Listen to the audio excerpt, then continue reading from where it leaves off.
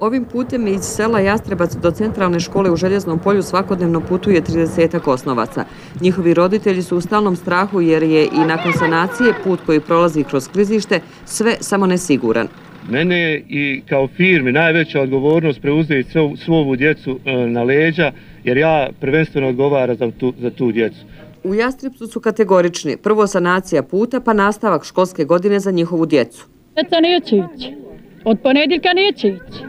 Tako smo rekli direktoru. Postala smo u dopis. Ovo je stvarno, ali za pješaka nije. Tako kamo ti za auto. Naš vozač neće djecu vući. Mi djecima ne damo i... Osmo gore najprije. Ima osnovi svoji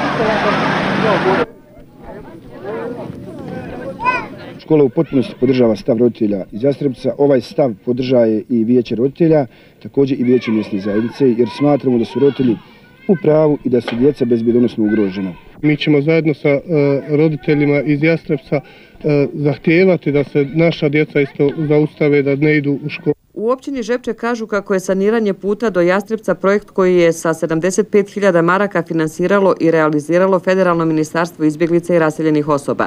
Nakon reakcija žitelja tog sela, investitor je angažirao predstavnika nadzora sa zadatkom da provjeri kvalitet urađenog posla i opravdanost uloženog novca.